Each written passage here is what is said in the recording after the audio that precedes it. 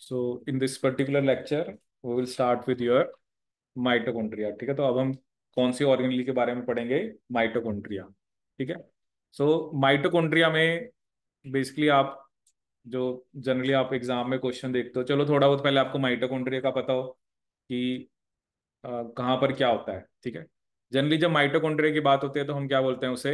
Power house of cell ठीक है? जो वर्ड पहला हमारे दिमाग में आता है ये पावर हाउस ऑफ़ सेल है। ठीक है? क्योंकि ये क्या जनरेट करता है? माइटो एटीपी माइटोकॉन्ड्रिया क्या जनरेट करता है आपका? एटीपी ठीक है? It is the powerhouse of cell ठीक है? अब इसमें जैसे एक आउटर मेम्ब्रेन होती है एक इनर मेम्ब्रेन होती है। इनर मेम्ब्रेन होती है फोल्डेड जिसे हम क्या बोलते हैं? क्रिस्टे इनर मेम्ब्रेन कैसे होती है? फोल्डेड जिसे हम क्या बोलते हैं? क्रिस्टे ठीक है?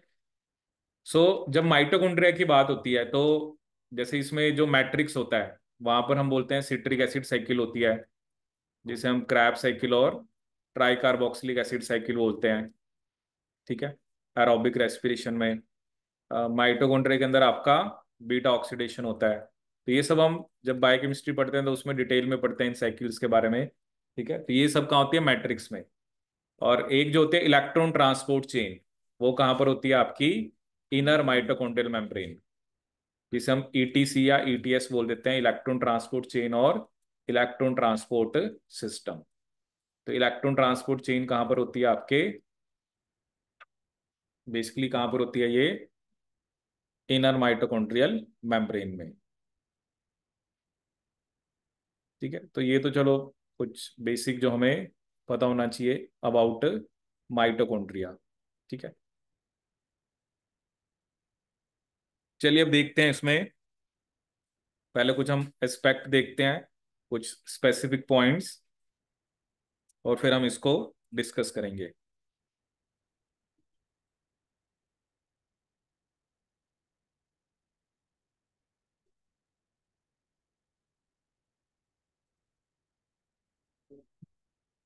चलिए देखते हैं, पहले कुछ पॉइंट्स देखते हैं। अब देखिए, इसमें उसने फ़र्स्ट पॉइंट हमें क्या बताया? Mitochondria contain their own genetic system, which is separate and distinct from the nuclear genome of the cell. ठीक है? क्योंकि ये भी एक ऐसी ऑर्गेनली आपकी semi autonomous it is also an example of semi autonomous organelle semi autonomous organelle ठीक है? Mitochondria are thought to have evolve from bacteria that developed a symbiotic relationship in which they live within larger cells जिसे हम क्या बोलते हैं? Endo Symbiosis ठीक है?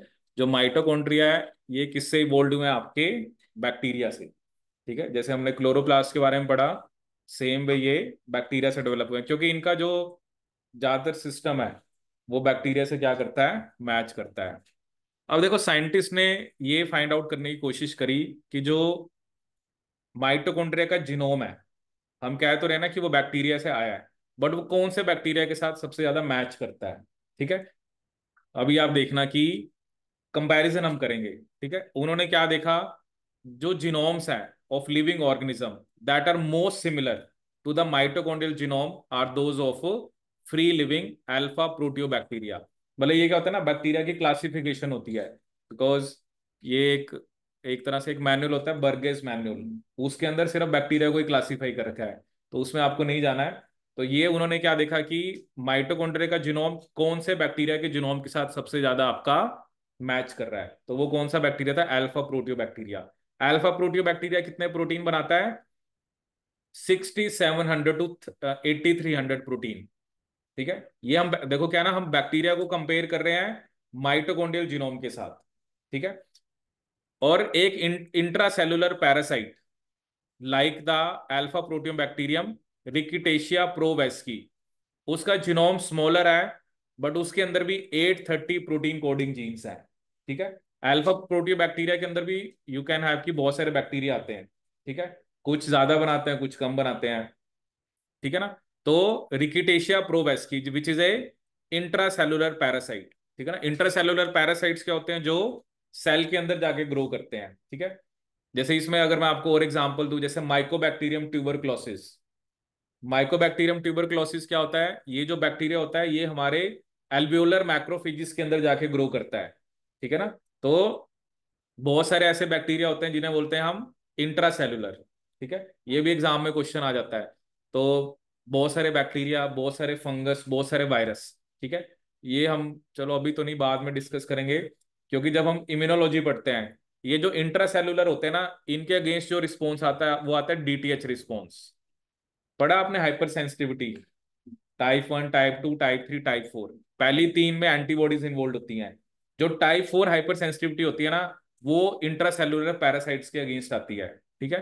तो वो हम वहाँ पे बेसिकली देखते हैं. बट आपको कुछ, आप कुछ एग्जाम्पल्स देखना कि कौन से बैक्टीरिया देखो नॉर्मली तो क्या होता है ना चलो ठीक है बैक्टीरिया है वो मतलब बाहर से कर रहा है बट कुछ बैक्टीरिया सेल के अंदर जाके भी ग्रो करते हैं, ठीक है ना? जैसे अब ये ट्यूबर क्लोसिस में यही है ना मैक्रोफेज का काम क्या होता है? उसने तो बैक्टीरिया को एंगल्फ करके उसको मारना था बट देखो बैक्टीरिया ने ऐसा अडेप्टेशन करी कि वो मैक्रोफेज के अंदर भी जाके ग्रो कर रहा है, ठीक है ना? आपने पढ़ा ना लाइसोजोम क्या होते हैं सुसाइड बैग उन्होंने तो क्या करना था फैगोसिटिक सेल ने बैक्टीरिया को एंगल्फ किया, ठीक है? और उसको किल करना था। बट बैक्टीरिया ने कुछ ना कुछ ऐसा मैकेनिज्म बनाया, जिसकी वजह से वो मैक्रोफेज के अंदर भी जाके ग्रो कर रहा है, ठीक है? तो अलग अलग टाइप के इंट्रासेलुलर क्या होते हैं? पैरासाइट्स ठीक है? तो यहाँ पर तो चलो बस ये कंपैरिजन कर रहा है कि नॉर्मली जो फ्री लिविंग अब दोनों में कंपैरिजन है, एक फ्री लिविंग है, एक इंट्रासेलुलर है। फ्री लिविंग मतलब it is not dependent on the host वो बनाता है ज़्यादा प्रोटीन मतलब इसका इससे यही सेंस बन रही है, क्योंकि वो होस्ट पे तो डिपेंडेंट है नहीं। उसको तो होस्ट से कुछ नहीं मिलना ना फ्री लिविंग है। बट जो किसी होस्ट के अंदर जाके रह रहा है, वो वो कम प्रोटीन बनाता है फिर भी, क्योंकि बाकी जो उसको प्रोडक्ट चाहिए, वो होस्ट से मिल जाएँगे, ठीक है? लाइक माइटोकॉन्ड्रिया जो रिकिटेशिया प्रोवेस्किया है is able to reproduce only within eukaryotic cells मतलब ये जो है ना, ये जो बैक्टीरिया है, ये यूकैरियोटिक सेल्स के अंदर जाके ही रिप्रोड्यूस करता है। माइटोकॉन्ड्रिया भी क्या है? माइटोकॉन्ड्रिया किसमें है? यूकैरियोटिक सेल में। अंदर ही वो अपना फिजन दिखाता है ना कॉपी बढ़ाता है। जब एक सेल से दो सेल बनाने होते हैं और माइटोकॉन्ड्रिया ऐसा नहीं होता ना मान लो सेल के अंदर एक ही है। ज़्यादा भी हो सकते हैं वो तो। तो लाइक माइटोकॉन्ड्रिया ये रिप्रोड्यूस करेगा यूकैरियोटिक सेल में। अभी ये ना आप, आप सेल से माइटोकॉन्ड्रिया को बाहर निकाल दो। वो कुछ नहीं कर सकता। वो खुद से थोड़ा डिवाइड कर जाएगा। क्योंकि माइटोकॉन्ड्रिया क्योंकि माइटोकॉन्ड्रिया वो तो अपने थोड़े से प्रोटीन बना रहा है। बाकी प्रोटीन्स के लिए वो किस पे डिपेंडेंट है? न्यूक्लियस के ऊपर। ऐसे ये जो बैक्टीरिया है, ये यूकैरियोटिक सेल के अंदर ही रिप्रोड्यूस करता है। क्यों? क्योंकि ये थोड़े से प्रोटीन बना रहा है खुद के। बाकी प्रोटीन्स इसको कहाँ से मिल रहे हैं? हो सेल के जिनोम से। बट अनलाइक माइटोकॉन्ड्रिया ठीक है? It still transcribes and translate most of its gene ठीक है? तो वैसे तो माइटोकॉन्ड्रिया की तरह ये रिप्रोड्यूस यूकेरोटिक सेल में करता है बट अनलाइक माइटोकॉन्ड्रिया क्योंकि इसके अंदर वैसे भी जीन्स ज़्यादा है तो ज़्यादातर अपने जीन्स की ट्रांसक्रिप्शन ट्रांसलेशन ये खुद करता है, ठीक है? Mitochondrial genomes are usually circular DNA molecule ठीक है? मतलब इसका मतलब ये नहीं है कि यहाँ या तो लिखता ना कि सारे सर्कुलर होते हैं, ऐसा नहीं है। कुछ माइटोकॉन्ड्रियल जीनोम्स के जीनोम का हमें डीएनए कैसे देखने को मिला है? Linear like those of bacteria ठीक है? बैक्टीरिया में भी लीनियर डीएनए होता है, ऐसा नहीं है कि बैक्टीरिया में लीनियर डीएनए नहीं होता है। बैक्टीरिया के अंदर भी क्या होता है? आपका linear DNA which are present in multiple copies per organelle ठीक है? अब देखो यहाँ पर जो साइज़ है, वो माइटोकॉन्ड्रियल डीएनए का आपको अलग अलग स्पीशीज में अलग अलग देखने को मिलेगा, ठीक है? क्योंकि कोई भी यूकेरोटिक सेल है, उसके अंदर माइटोकॉन्ड्रिया तो ज़रूर है, चाहे वो प्रोटिस्टा है फंगस है, चाहे आप यूनिसेलुलर यूकेरोट की बात कर रहे हो माइटोकॉन्ड्रिया तो सबके अंदर आपको देखने को मिलेगा। अब वो देखो यहाँ पे क्या लिख रहा है? The genome of human and most other animal mitochondria are only about sixteen K B ठीक है? आप ये देखो जो ईस्ट है, उसके माइटोकॉन्ड्रिया का डीएनए भी हमारे सेल के माइटोकॉन्ड्रियल डीएनए से बड़ा है। ईस्ट के अंदर माइटोकॉन्ड्रियल डीएनए का साइज़ 80 के बी है विच इज़ ए यूनिसेलुलर हमारे और generally most of the animal उनके अंदर माइटोकॉन्ड्रियल डीएनए का साइज़ सिर्फ़ 16 है। देखो, ये यही शो कर रहे हैं ना कि during the course of evolution obviously अब ईस्ट तो पहले ही आया, वो तो सिंपल है यूनिसेलुलर है। During the course of evolution जो माइटोकॉन्ड्रिया का डीएनए है, वो न्यूक्लियस में जाके लगता गया, ठीक है ना? तभी वो छोटा होता गया ना, तभी तो आपको जैसे जैसे आप कह रहे हो यीस्ट को तो आप स्टार्टिंग में ले सकते हो because it is a fungus unicellular eukaryote but obviously जब हम ह्यूमंस की बात कर रहे हैं तो हम सबसे एडवांस या सबसे कॉम्प्लेक्स एनिमल्स की बात कर रहे हैं, ठीक है? और प्लांट के अंदर more than two hundred K B ठीक है? अब देखो ना, अब अब बैक्टीरिया का साइज़ कितना था? बैक्टीरिया जनरली मतलब इसमें चलो प्रोटीन्स वो ज़्यादा बना रहा था, अभी आगे कंपैरिजन देगा ये। ईस्ट का है 80 के बी हमारे माइटोकॉन्ड्रियल डीएनए का साइज़ है 16 के बी और प्लांट्स के अंदर 200 के बी हावर ये नहीं है कि माइटोकॉन्ड्रियल जीनोम बड़ा है तो उसमें प्रोटीन ज़्यादा बना रहा है। However these large mitochondrial genomes are composed predominantly of the known coding sequences. मतलब वो कुछ बनाते नहीं है, and they are not, they do not appear to contain significantly more genetic information. ठीक है? जैसे हम एक वर्ड यूज़ करते हैं मॉलिकुलर बायोलॉजी में C value paradox C value paradox का मतलब क्या होता है? ये नहीं है कि किसी का जीनोम बड़ा है तो वो ज़्यादा कॉम्प्लेक्स है। ठीक है ना? ऐसा भी हो सकता है किसी का जीनोम छोटा है बट वो ज़्यादा कॉम्प्लेक्स है। ठीक है ना? तो ऐसा नहीं होता है कि किसी का जीनोम बड़ा है तो वो ज़्यादा कॉम्प्लेक्स है, ठीक है? ऐसा भी हो सकता है कि जिसका जीनोम छोटा है, उसका भी बेसिकली वो कॉम्प्लेक्स हो सकता है, ठीक है? तो ये मेरे लिए आपको ध्यान रखना है, ठीक है? जैसे मान लो हम कहते हैं कि जो पोटैटो है, उसके अंदर फोर्टी एट क्रोमोजोम है, हमारे अंदर छियालीस है तो आलू हमारे से ज़्यादा कॉम्प्लेक्स थोड़ा हो गया, है? तो ऐसे ये उसे बोलते हैं C value paradox C value paradox एक हम वर्ड यूज़ करते हैं। ऐसा नहीं है कि किसी का जिनोम ये तो चलो माइटोकॉन्ड्रियल जिनोम की बात हो रही है, वो हम न्यूक्लियर जिनोम को कंपेयर करते हैं, ठीक है? अब देखो अब देखो यहाँ पर आपको कुछ फैक्ट देखने को मिलेंगे। सबसे बड़ा माइटोकॉन्ड्रियल जिनोम जिस प्लांट का है, उसका नाम है अरेबियोडोप्सिस थेलियाना ठीक है? इसका साइज़ कितना बताया उसने? 367 के बी बट ये प्रोटीन सिर्फ़ कितने बनाता है? 31 ठीक है? और अभी जब हम, हमारे वाले का जो साइज़ है वो है 16 के बी और वो प्रोटीन बनाता है 13 ये 16 हमारा जो माइटोकॉन्ड्रियल डीएनए है, उसका साइज़ 16 के बी है और वो तेरह प्रोटीन बनाता है। अगर आप साइज़ कंपेयर करो 16 और 367 तो ये मतलब 25 टाइम्स ज़्यादा है। लेकिन प्रोटीन्स के नंबर की बात करें तो ये डबल से थोड़ा सा ही ज़्यादा है, क्योंकि ये 13 है, ये 31 है। ठीक है ना? साइज़ में तो 25 गुना ज़्यादा बड़ा है बट प्रोटीन बनाने में ऑलमोस्ट ट्वाइस द नंबर मतलब तेरह दूनी छब्बीस तो छब्बीस के राउंड आपका 31 सबसे बड़ा, सबसे जो माइटोकॉन्ड्रियल जीन्स है, सबसे ज़्यादा हमने जिसके अंदर देखी है, वो है एक प्रोटोजोआ जिसका क्या नाम है? रैक्लिनोमोनास अमेरिकाना ये वो प्रोटोजोआ है जिसका माइटोकॉन्ड्रियल जिसके जिसके अंदर जीन सबसे ज़्यादा है, ठीक है? इसका साइज़ सिर्फ़ 69 के बी है और इसके अंदर 67 जीन्स है। ठीक है ना? और देखो आप जब बैक्टीरिया जिससे कंपेयर कर रहे हो वो कितने प्रोटीन बना रहा था? कितने प्रोटीन लिखे थे आपने? अल्फ़ा प्रोटियो बैक्टीरिया जो फ्री लिविंग था।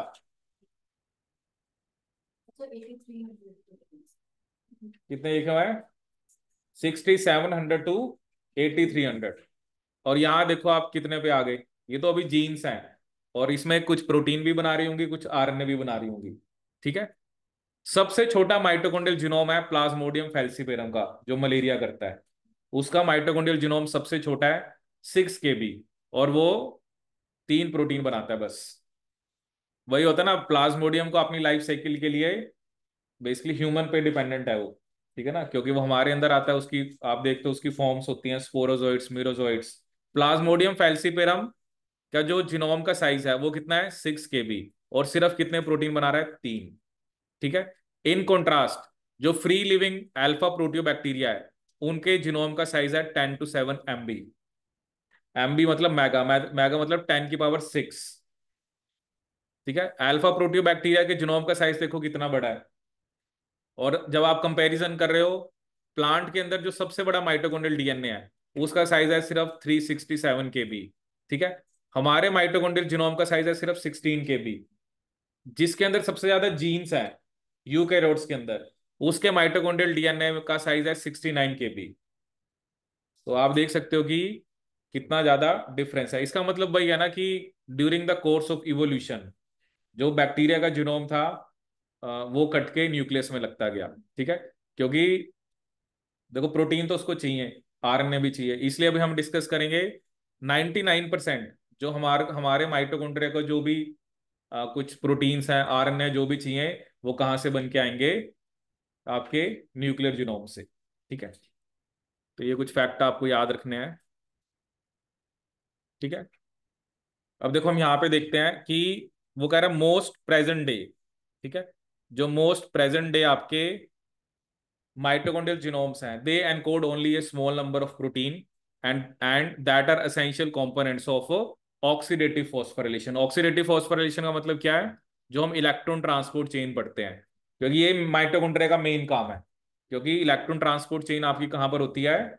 Inner mitochondrial membrane in in addition mitochondrial genome encode all of the ribosomal RNA and most of the transfer RNA needed for translation of these protein coding sequences within mitochondria ठीक है? क्योंकि अभी जो मैं आपको basically इसमें बताऊँगा, जैसे मैंने अभी तो 37 जीन्स जो बेसिकली हमने पहले भी डिस्कस करी तो 37 में से बेसिकली जो है, दो राइबोसोमल आरएनए बनेंगे ह्यूमंस के अंदर 22 टीआरएनए और 13 प्रोटीन्स और ये जनरली वो प्रोटीन्स हैं जो इलेक्ट्रॉन ट्रांसपोर्ट चेन के लिए चाहिए, ठीक है? बाकी जो है ना, जो रेप्लीकेशन करनी है ट्रांसक्रिप्शन ट्रांसलेशन वो सब न्यूक्लियर जीनोम से बन के आएगा, ठीक है? So other mitochondrial proteins are encoded by nuclear genes which are thought to have been transfer to the nucleus from the ancestral mitochondrial genome ठीक है? अब वही है ना कि माइटोकॉन्ड्रियल प्रोटीन न्यूक्लियर जीन्स बना रही हैं। क्यों? क्योंकि during the course of evolution वो जो माइटोकॉन्ड्रिया का डीएनए था, वो कट के कहाँ पे लग गया? न्यूक्लियस में। ठीक है? तो ये आपको इसमें ध्यान रखना है। तो ये अभी हम डिस्कस करेंगे इसके बारे में ना डिटेल में। ये ह्यूमन माइटोकॉन्ड्रियल डीएनए है, ठीक है? इसमें sixteen point five K B के राउंड इसके अंदर, इसका साइज़ है।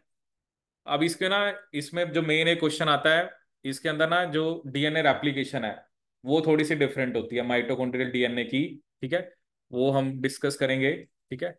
क्योंकि माइटोकॉन्ड्रियल जो डीएनए एप्लीकेशन है, वो थोड़ी सी क्या होती है, आपकी डिफरेंट डी लूप, जैसे लिखा ना, डी लूप एप्लीकेशन होती है। पढ़िए, डी लूप एप्लीकेशन क्या होती है? क्योंकि एग्ज़ाम में जो क्वेश्चन आ रहा है आजकल, वो इसी के ऊपर आता है ज़्यादा ना, माइटोकॉन्ड्रियल डीएनए एप्लीकेशन पे, ठीक है? इसमें आपको, जैसे ना, दो स्टैंड देखने को मिल रहे होंगे। जैसे देखो, उसने एक स्टैंड को क्या नाम दिया? आपका एच स्टैंड, ठीक है? एक स्टैंड को क्या नाम दिया? एच जो ये शो किया इसने। और दूसरे स्टैंड का नाम इसने क्या लिखा? आपका एल स्टैंड ठीक है? अब एच और एल का क्या मतलब होता है?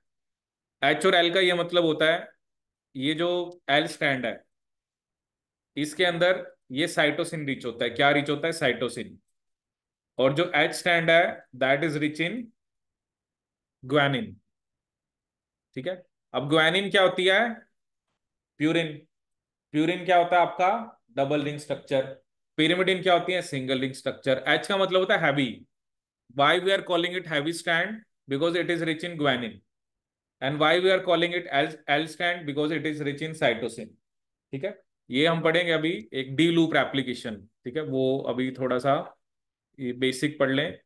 तो फिर मैं आपको डी लूप एप्लीकेशन बताऊँगा how the application of mitochondrial DNA is different different from other types of application ठीक है? दैट विल डिस्कस लेटर यहाँ पर आप देखो, यहाँ पर आपको दो राइबोसोमल आरएनए देखने को मिलेंगे, twelve S and sixteen S, ठीक है? ठीक है? माइटोकॉन्ड्रियल के अंदर जो राइबोसोमल आरएनए है, वो जो एनिमल का है, वो ट्वेल्व और सिक्सटीन एस है, दो ही देखने को मिलते हैं, ठीक है? और बाकी आपको इन्होंने दिखा रखे हैं, जैसे कॉम्प्लेक्स दिखा रखे हैं, complex one, two, three, complexes की बात हम कहाँ पे करते हैं? जब आपको इलेक्ट्रॉन ट्रांसपोर्ट चेन में। पढ़ते हैं ना complex one complex two complex three complex four तो ज़्यादातर जो जीन्स हैं या जो प्रोटीन्स बनते हैं वो इलेक्ट्रॉन ट्रांसपोर्ट चेन के कॉम्प्लेक्सेस बनाने के लिए यूज़ होती है, ठीक है? अभी आप क्वेश्चन देखोगे ना, आपको पता लगेगा कि कैसे क्वेश्चन आते हैं। जैसे ये क्वेश्चन तो एक स्टेटमेंट यही थी क्वेश्चन के अंदर कि L strand is rich in cytosine तो दिस स्टेटमेंट वॉज़ करेक्ट ठीक है? ये भी मैं आपको, क्योंकि क्वेश्चन अभी हम बाद में करेंगे बट मैं आपको एक क्वेश्चन दिखाता हूँ वैसे ही। जैसे ये देखो, ये लाइन लिखी है ना the L strand of mitochondrial genome possesses more cytosine तो दिस स्टेटमेंट वाज करेक्ट ठीक है? अब देखो, एक स्टेटमेंट क्या है? Some organisms have been found to carry linear DNA ये भी सही थी। तो बाकी के लिए अभी हमें पहले माइटोकॉन्ड्रियल डीएनए रेप्लिकेशन पढ़नी पड़ेगी, फिर ही आपको पता लगेगा।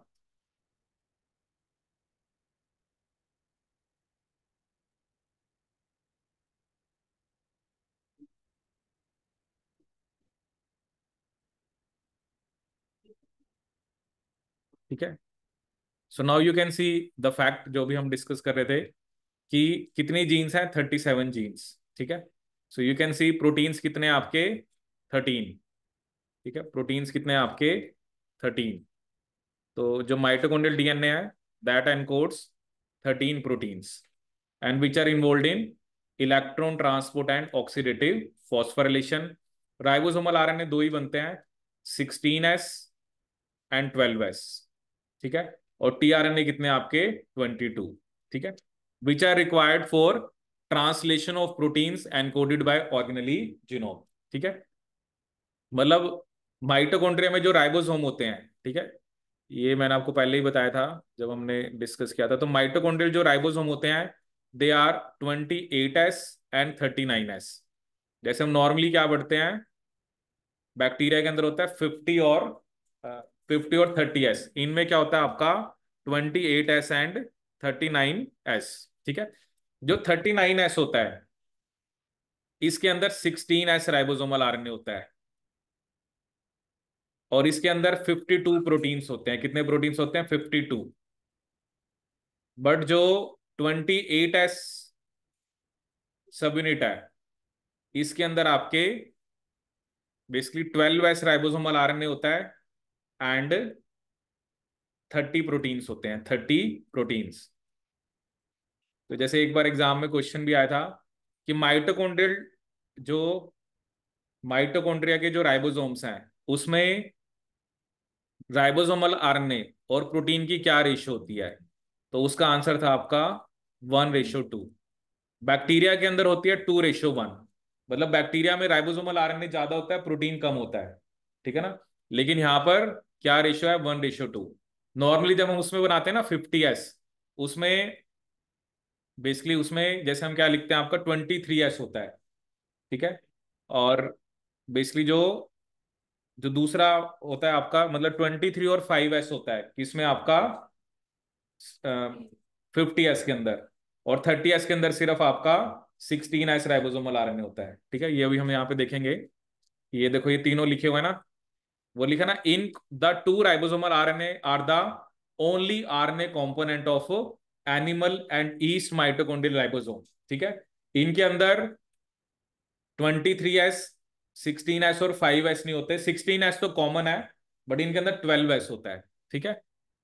लेकिन जो कह रहा है प्लांट के अंदर जो माइटोकॉन्ड्रियल डीएनए होता है, उनके अंदर फाइव एस होता है। एनिमल माइटोकॉन्ड्रियल जो डीएनए होता है या एनिमल के जो राइबोसोम्स हैं या ईस्ट के, उनके अंदर बेसिकली आपका बेसिकली आपका जो है, उनके अंदर सिर्फ़ दो ही राइबोजोमल आ रहे हैं दैट इज़ 16 एंड 12 ठीक है? The mitochondria of plant and protozoa also differ in importing utilizing T R N and encoded by the nuclear as well as the mitochondrial genome अब देखो ये लाइन इंपॉर्टेंट है। Animal के जो animal mitochondria को जो ए चाहिए वो एनिमल का माइटोकॉन्ड्रियल जीनोम खुद ही बनाता है। लेकिन प्लांट के अंदर जो माइटोकॉन्ड्रियल जीनोम है, या प्लांट को जो टीआरएनए चाहिए, वो कुछ ये खुद बनाता है, कुछ न्यूक्लियर जीनोम से बन के आते हैं। ठीक है? This is very important point ये एग्ज़ाम में आया भी हुआ ये भी लाइन आ रखी है स्टेटमेंट की, कि जो एनिमल को ट्वेंटी टू टी आर चाहिए, ठीक है? देखो ये माइटोकॉन्ड्रिया की बात हो रही है। पहले हमने क्लोरोप्लास्ट पढ़ा था। क्लोरोप्लास्ट में हमने ये पढ़ा था वो सारे टीआरएनए खुद ही बनाता है बट दैट वॉज़ क्लोरोप्लास्ट वो प्लांट में।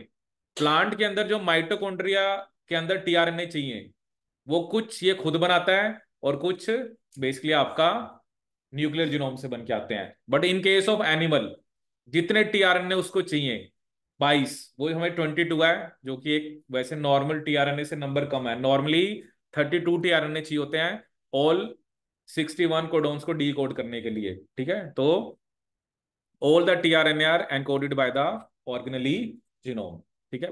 एनिमल्स के अंदर बट प्लांट्स के अंदर कहाँ से बन के आते हैं? कुछ वो खुद बनाते हैं कुछ आपके कहाँ से बन के आते हैं? न्यूक्लियस से ठीक है? ये भी आई थिंक मैं आपको दिखाता हूँ अगर इसमें एक स्टेटमेंट हुई।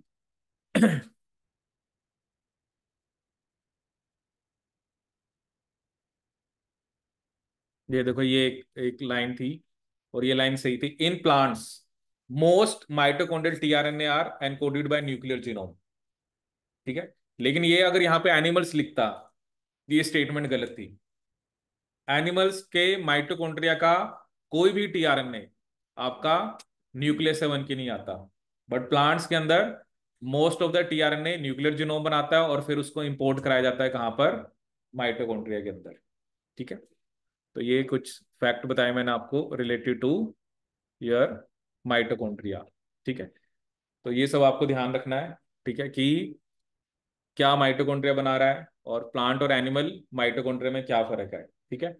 और अब इसमें देखेंगे अभी फर्दर टॉपिक्स भी, ठीक है? तो आपको थोड़ा साइज़ का बताओ एच स्टैंड क्या होता है एल स्टैंड क्या होता है? ये हमने ह्यूमंस का शो किया है, ठीक है?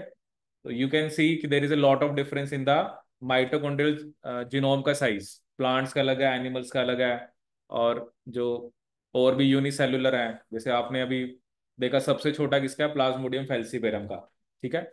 और ये फिगर्स भी आपको याद रखनी है कि ह्यूमन माइटोकॉन्ड्रियल जिनोम क्योंकि हमारा main concern human mitochondrial genome पे ही है, कितने उसके अंदर जीन्स हैं क्या क्या वो बना रहे हैं कौन सा उनके अंदर राइबोसोमल आरएनए है, कितने टीआरएनए हैं तो इन सब टाइप के क्वेश्चन आपसे माइटोकॉन्ड्रिया में पूछते हैं, ठीक है? So this is about the basic और जनरल माइटोकॉन्ड्रियल नॉलेज जो हमें होनी चाहिए।